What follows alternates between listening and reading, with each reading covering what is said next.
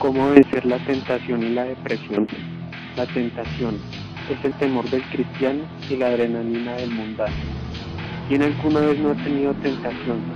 Esa es una característica humana que hay que aprender a controlar. Esos pensamientos lascivos que se apoderan de nuestro ser y nos incitan a cometer locuras. Cuando nos referimos a la tentación, lo primero que se pasa por nuestra mente y corazón es el deseo de la carne, inmediatamente nos imaginamos teniendo relaciones sexuales hasta con algún pariente. Y pasa el tiempo en ocasiones ese deseo se hace más fuerte. Y si la vecina está buena, ni siquiera respetamos que esté casada. Nos comportamos como bestias sedientas de placer y no queda otro camino más sensato que la masturbación. Es preferible la masturbación que cometer un acto carnal del cual nos vamos a arrepentir toda la vida. Pueden existir diversos tipos de tentaciones, por ejemplo, la invitación a cometer un acto delictivo. Por eso no es raro ver en una película de acción cuando matan personas y luego casi que de inmediato tienen una relación sexual. Parece como si una parte específica del cerebro estuviese encargada de la tentación carnal. ¿Cuál es la manera más apropiada para vencer cualquier tentación? A mi parecer es la reflexión Piensa en las consecuencias antes de dejarte llevar por ese impulso. Ese consejo nunca falla, porque cuando reflexionamos, nuestros mejores valores salen a flote.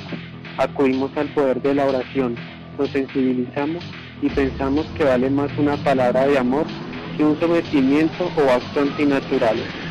Podemos entretener la mente viendo una película, leyendo, llenándonos de pensamientos positivos y si el deseo es muy fuerte, Quita tu corazón de ese lugar, da la media vuelta y enciérrate en tu propia intimidad, porque si te conoces bien, no hay temor de que seas vencido por un pensamiento pasajero y perturbador, y lo mejor es que Jesús está contigo.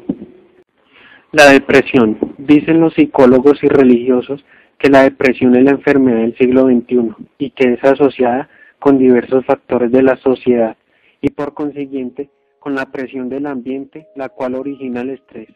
Hoy en día vemos miles de suicidios y asesinatos. Cada vez más gente se mete en el camino del consumo de sustancias alucinógenas. La misma sociedad brinda puertas de escape que no son para nada sanas y te invitan a ser parte de un mundo de locos, donde toda conducta y tendencia inmoral y antinatural es aceptada. No es raro ver un grupo de emos y de de sodomitas y viciosos, creen que la salida de la depresión es el libertinaje y el irrespeto a la sana conciencia y la moral.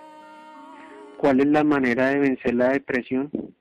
Valorar más a las personas que tenemos a nuestro lado, por ejemplo, un ser querido o familiar, disfrutar de las cosas bellas de la vida, como la naturaleza y el arte.